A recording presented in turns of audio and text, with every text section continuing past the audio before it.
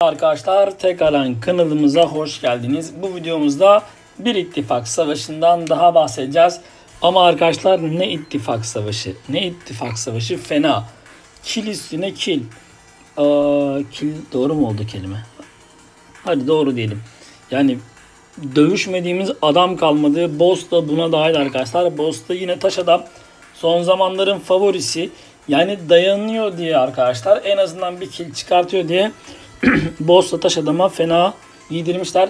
Tabi neyse oraya geldiğimde anlatırız diyorum. Hadi ufaktan bir başlayalım. Kadromuz arkadaşlar gene oyunun en iyi iki karakteri. En iyi iki karakteri arkadaşlar. 2 kere 2 4 bunlar da oyunun en iyi ikilisi. Corvus Glaive ve Quake arkadaşlar. Proxima'da Corvus'a yardımcı oluyor. Hadi ilk savaşımıza başlayalım. Ruhsal Diken karosundan gidiyoruz. Karşımızda Hulk var, Yeşil Dev var arkadaşlar. Tabii ki de buraya ilk olarak Quake ile giriyoruz. Ruhsal Diken karalarının iki favorimden bir tanesi Quake arkadaşlar.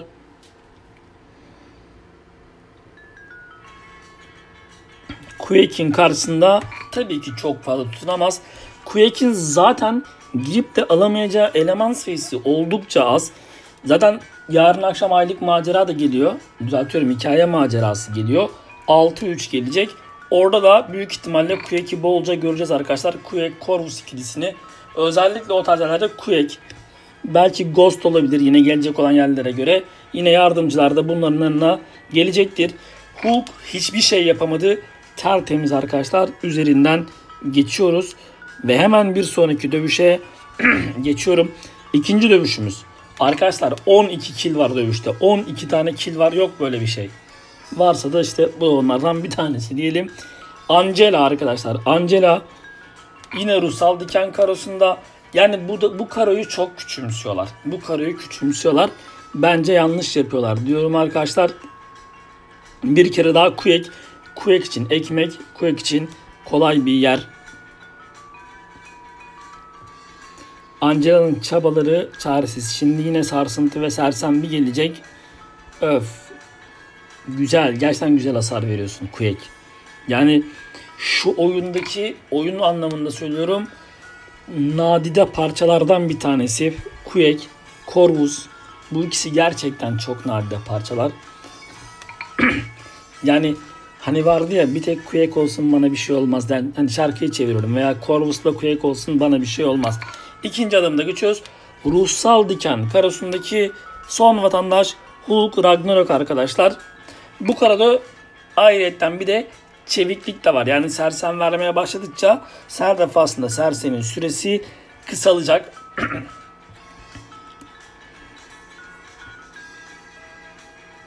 yani Hulk çabalıyor ama Quake'in kendi kaçış yeteneği çok efsane. Quake'le bolca oturun, antrenman yapın. Arada böyle ittifak savaşında da yapın. Dayak yedikçe tadı bir güzel oluyor. yani o hani sürekli böyle kaçmalı kuçmalı var ya.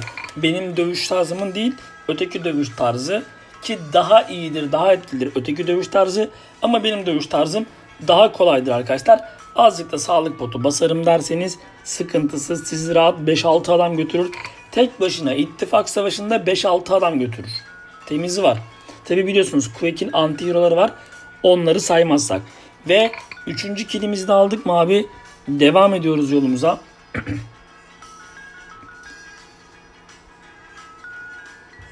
Şimdi ortadaki bağlantı hero'larının arkadaşlar Iron Man var. Iron Man Infinity varlar var. İki tane var. Biz gidelim bir tanesini alalım. Özellikle zırhlarını tercih ediyorum. Çünkü arkadaşlar daha kolay zırhlandığı için Iron Man burada daha kolay otoblok yapıyor. Ve tabii ki bu da benim için otoblok yükünü de almamı sağlıyor. Tek adamdan 3 yük alabiliyorsunuz. Çok enfes. Yani bir de yanlışlıkla kaçsa kaçma olmaz. Teknoloji artı mutant olsa olacaktı. 4 yükü de alacaktım. Bak direkt 4 yüke çıktı. Çok temiz. 3 kere vurdum 4 yükü. O da ayrı bir muhabbet. Evvela ilk işim özel saldırı birimi doldurmak ki özel saldırı birime otoblok attıracağım arkadaşlar Man. Oo doldurdum.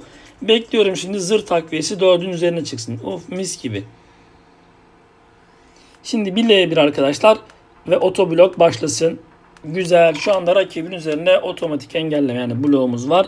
Ağır saldırıyla hemen bir tane yükümü aldım. gerçek saldırımı açtım. Proxima Midnight sayesinde artık otobloklar başarısız arkadaşlar. Bundan sonra dolarsa L2 dolmazsa vur gelsin mantığı. Birazcık bloğunuza darbe alırsanız şimdi normalde o L2'nin dolmaması lazım ama azıcık azıcık bloğumuza darbe alınca arkadaşlar L2 dolar. Darbe almakta çok bir sıkıntı yok. Corvus'u benim gibi kanama açık kullanıyorsanız her dövüşte %10 ila %12 sağlık zaten basıyor. 13K, 16K ve 49K ile otoban spora çeviriyoruz. Bu da arkadaşlar bizim dördüncü kilimiz oluyor. Devam edelim. Şimdi ikinci bölümdeyiz. İkinci bölümde iyileşme karalarının olduğu yer. Biri mazoşizm, biri sille. Arkasında yine sille ve kaçışlar var. İpte etkine, etkilenmeyenler var. Ve Beyblade var arkadaşlar karşımızda. Hem iyileşme etkileri daha fazla hem de mazoşizm yani rakibin üzerine olumsuz bir etki verirsem arkadaşlar sağlık basacak. İşte kaç %5 %10 mu? Burada %150 arttırıyor. Yani bunu işte %25 ya da %20 neyse artık ona çıkartıyor arkadaşlar. Corvus Glaive için abi sadakati harcayacaksınız ya. Corvus Glaive varsa elinde bu takviyeleri harcayacaksın. Yani gerekirse biliyorum bağışlar yaparken biraz sıkıntılı oluyor. Benim mantalitem arkadaşlar şimdi ben normal sadakati elemeyi göz nuru ittifak savaşlarından alıyorum. Ama yarısını sadakatli yarısını kredi harcıyorum ne yazık ki. Sadakatle bazı eşyaları alabilmek için arkadaşlar. Özellikle Corvus itemlerini kesinlikle almak lazım. Şimdi mazoşizm ne kadar sağlık bastıysa da çok bir problem değil. Çünkü Corvus'un atacağı L2 direkt otoban spor yapacak. Belki L2'ye bile gerek kalmayacak.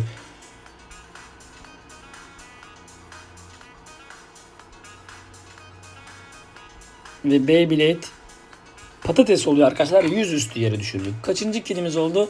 Beşinci kilimiz oldu. Ve devam ediyoruz arkadaşlar. Nick Fury. Nick Fury'nin esprisi zaten kopya özelliği. Yani üzerindeki yükü ikinci bir hayata dönmesi arkadaşlar. İkinci kez dirilmesi. E burada da dikkat etmek lazım. Nick Fury tar Nick Fury'nin tarzında olacak karakterlerle girmezseniz hakikaten sıkıntı. Özellikle mutant mesela tavsiye edeceklerim kesinlikle Omega Red var. Ama Omega Red'i yani kullanmayı bilmek lazım. Kanama zehirsiz Omega Red kullanmayın abi. Kanama zehir açmıyorsanız Omega Red'i yükseltmeyin arkadaşlar. Benden size bir arkadaş tavsiyesi vasat olur. Gerçek gücünü gösteremez. Kanama zehirsiz Omega Red gerçek gücünü gösteremez. Yükseltmeyin. Yazık yani güzelim karakteri dersiniz. Giremezsiniz yani korkarsınız bazı yerlere girmeye. Hiç gerek yok. Nick Fury çok rahat bir şekilde dediğim gibi Omega Red ile dövülebilir arkadaşlar. Yine Void de güzel dövülür. Void de bunu çok yakışıklı döver. Gerçi orada dikkat etmek lazım. Özellikle kopyasının e, yükünden sonra sıkıntı olabilir. Ama benim favorilerimden bir tanesi kesinlikle Corvus Glaive arkadaşlar. L2 atıyorsunuz. L2'niz veya L3'ünüz oluyor. Bununla ilgili birkaç benzer video vardı hatırlarsınız. Takviyeleri tabii ki abanacaksınız. Ben her zaman söylediğim gibi arkadaşlar ittifak savaşınızı ekibiniz için oynamayacaksınız abi. Ekibiniz için ittifak savaşı oynamayın. Özellikle başlangıç ve orta seviyelerde oynarsanız arkadaşlar çok kırılırsınız. Yani kimse güçlendirme basmaz. Herkes çakallık ve kurnazlık peşinde olur. Siz de basmazsınız. Ekip iyice patatese bağlar. Kendiniz için oynayın arkadaşlar. İttifak savaşını, ittifak maceralarını savaşı kayıp mı ediyorsunuz? Siz yapıştırın abi boş ver. Yapıştırın o MVP'de isminizi gösterin mutlaka. Size yakışan çünkü MVP'dir. Bak L2'yi bastım abi tertemiz. Bir daha L2'imde oldu. Bir daha L2 bastım. Şimdi bundan sonra bekliyorum ki Nick Fury kendi kendini öldürsün. O güzel bak mis gibi. Biraz daha öldürsün. Zaten bir combo çıkardığımda arkadaşlar L2'im dolmuş olarak şu saatten sonra yakaladıktan sonra bloğuma gelsin vursun ki açık versin. Temiz açık. Hiç öyle atılma saldırısı muhabbetine gerek yok. Ve arkadaşlar güle güle diyoruz. Ki burada yüklerimiz de yoktu. Sille karasıydı. Corvus Grave'in yükleri de yoktu. Yoksa 60K'ları falan yürüdük. Ne 60K'sı? 70-80K çıkar toplam L2'de. Bu Corvus Glaive başkasına benzemez. Ve Nick Fury arkadaşlar Sille karasında. Corvus'un yüksüzken geçiyoruz. Ve Emma Frost. Emma Frost da burada arkadaşlar hem Sille karasına hem de kaçış karasına yani %40 şansla kaçma muhabbeti var. E tabi kaçtığı zaman da bir de ekstra güç para dolduracak. Yine Sille karosu Yine Corvus Glaive'in yükleri direkt iptal arkadaşlar. Ama fark etmez. Yani yüksüzken bile 100-150K'lı takviyeyle beraber 200K'yı çıkartırsınız abi. Yük yokken bile güzel takviye, mantıklı takviye kullanırsanız tabii ki oyun şeklinizle beraber 200K'yı temiz çıkartırsınız arkadaşlar. Tabi benim bahsettiğim R5 kopyalı abi. Baksana savaş gücü. 18 bin savaş gücü var. Çat. Güle güle sana yolun açık olsun. Türküsü eşliğinde görüyoruz. 50k belki 50k'dan biraz daha fazla. İlk iki vuruşuna bakmadım. Yapıştırdı. Bu kaçıncı kilo oldu? 4 orada, 3 burada, 7. Hadi bakalım 8. 8.ye gelelim arkadaşlar. Medusa. Medusa'da iptal karosunda ve özel saldırı çok güzel. Yani Medusa'nın defansta etkili olabileceği tek karo sersem bağışıklığı ve onun türevleri. İptal de onlardan biri. Yani Medusa başka yerde hiç yapmaz. Siper'den sonra siper at vurursun. Ama işte her şeye bağışıklı olan Karo'da arkadaşlar bak kaçışı engelledi. Gerçek saldırı. Birazdan otoblokları da engelleyecek. Bilmiyorum açabilecek mi de. Yani Corvus Clave'e karşı bağışıklı olan karakter sayısı çok az arkadaşlar. Çok az. Ve Medusa onlardan bir tanesi değil. Şu anda ne yapıyorum? Arkadaşlar sağlığımı dolduruyorum. Yani sağlığımı biraz daha doldurmaya çalışıyorum. Bir güç barı karosu hatırlayın. Fulllediği zaman üzerime etki veriyor. E bu işlerde biraz kurnaz olmak lazım arkadaşlar. İşte Corvus Clave'in yanında Proximası varsa ne kaçışlar ne de arkadaşlar otobloklar hiçbir işe yaramaz. Buraya da geçiyoruz. Kaç oldu? 8 dövüş oldu. E o zaman ne yapmak lazım? Geri kalan 4 dövüşü de bizim yapmamız lazım. Boss da buna dahil. Yalnız taş adama geldiğinde bir ayrıntı söyleyeceğim arkadaşlar. Zaten hem göreceksiniz hem de ben ekstra bir şeyler söyleyeceğim taş adamla ilgili. Modok, Modok'un da en önemli esprisi biliyorsunuz kendi otobloğunu yapması. Ki Karo'da kanama ve zehir bağışıklığı var. Yani Archangel'ı biraz engelliyor ve aynı zamanda çeviklik de var. Çeviklik de olduğu için arkadaşlar burada action var. Takviye kullanacaksınız abi. Çat çat takviye kullanmadan olmaz bu işler. Çünkü yolumuz uzun. Yol uzun arkadaşlar. Modok'a başla yapıştırmaya otomatik blok başarısız. Modok'un da yine etkili olacak karo arkadaşlar sersem bağışıklığı karosu. Çeviklik karosu değildir. Onu baştan söyleyeyim. Yani çeviklik %25 %30 verim sağlarsınız. Sersem bağışıklığı ve türevindeki karolarda Modok daha etkili olur arkadaşlar. Tabi Corvus için bu geçerli değil yani. Gerçek saldırı yükünü aldıktan sonra 54k finalli toplamda bir herhalde 100k'ya yakın vurmuştur. Tam bakmadım ama bundan sonrakilere yetişirsek bakarız. Örümcek Adam yine kaçabilen bir karakter ve tabii ki arkadaşlar bir kere daha Corvus Clave ile girildiğinde çok fazla bir action yok. Lakin bu karada özel saldırı bir engellenemez var. Örümcek Adam'ın özel saldırı birinden iki farklı şekilde kaçırıyor. Bir tanesi normal ağlarından kaçtığınız zaman yanınıza gelip yumruk atmıyor.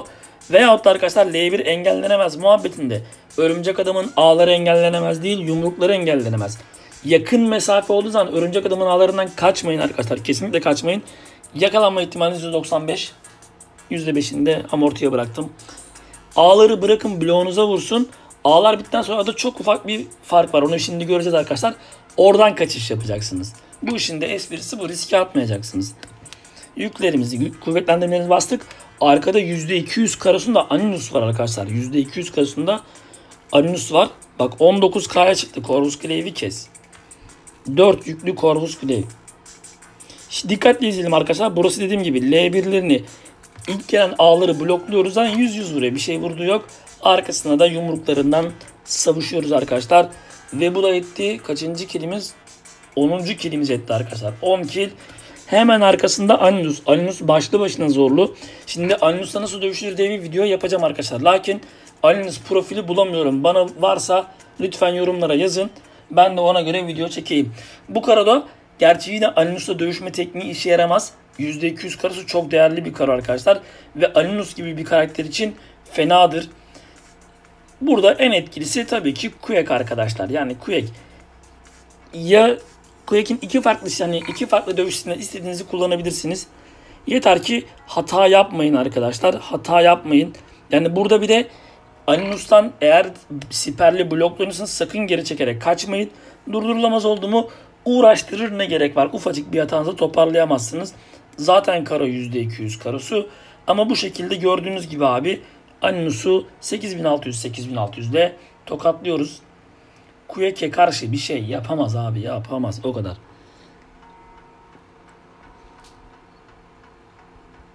Ve arkadaşlar Aninus'u da buradan tokatlayarak geçiyoruz. Geriye kaldı boss.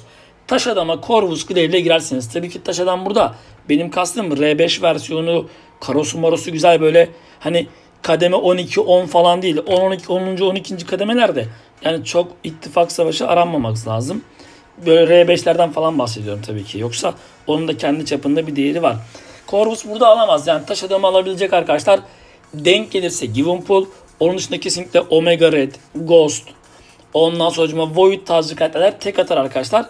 Burada bir girilmiş ve yarım kalmış.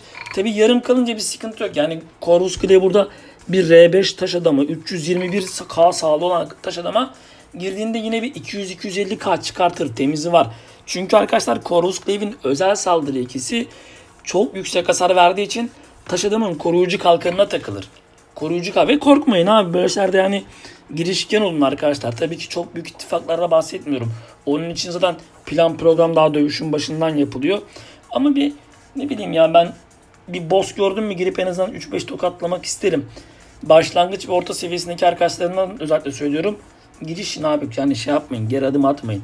Ve tabii ki takviye kullanmaktan da kesinlikle çekinmeyin. Şimdi özel saldırı 2 anında görüyorsunuz arkadaşlar 18k vurdu ki normalde orada bir 50k çıkarması lazım. O da arkadaşlar taşıdığının koruyucu kalkanı çok önemli. %70 mi ne kısıyordu yanlış hatırlamıyorsam. E tabi de üstüne taş yüküne oranla ekstra bir daha veriyor kısmı olayı. Orada action başlıyor. Koruyucu kalkanı çok etkili. Zaten bu yüzden ittifak savaşlarında genelde boss'a konuyor. Adam alacağından değil yani özel saldırılarından kaçması o kadar zor değil. Tabi antrenmanı olanlar için üstüme antrenman yapmayanlar için Kamala Khan da çok zorlu rakiptir. İşte burada arkadaşlar o sürekli edin koruma kalkanının mor olanı sürekli açıyor. Açtığı için de dövüşü uzatıyor arkadaşlar. Yani burada bir R5 korursa benim görüşüm ve çok video izleyen biri olarak söylüyorum. Dünyanın güçlendirmesinde bassanız tek çıkartamaz arkadaşlar. Böyle 320K, 350K'lardan bahsediyorum. Yani çıkartırsa da çok şanslı bir dövüştür. Henüz öyle bir videoya denk gelmedim. Yine denk gelseniz lütfen yazın arkadaşlar. Ben de bileyim. Tabi burada taş adamın yüklerini hesap etmek lazım. Given pull gibi değil. Burada taş yükü açıyor. Engellenemez muhabbeti oluyor.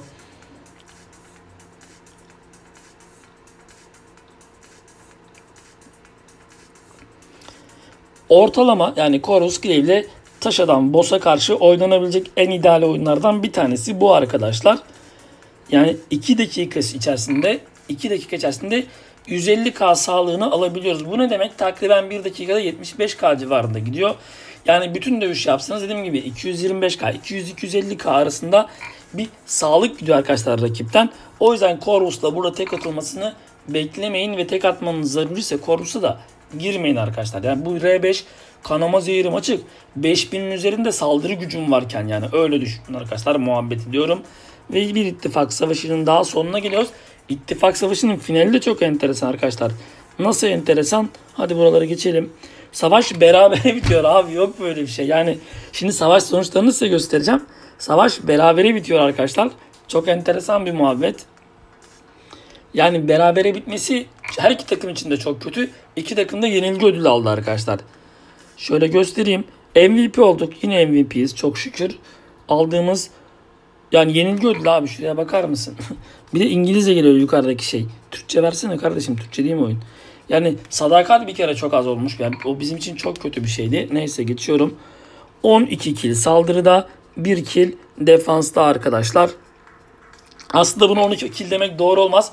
11.5 kill demek bence daha makul arkadaşlar. 11.5 kill demek daha makul.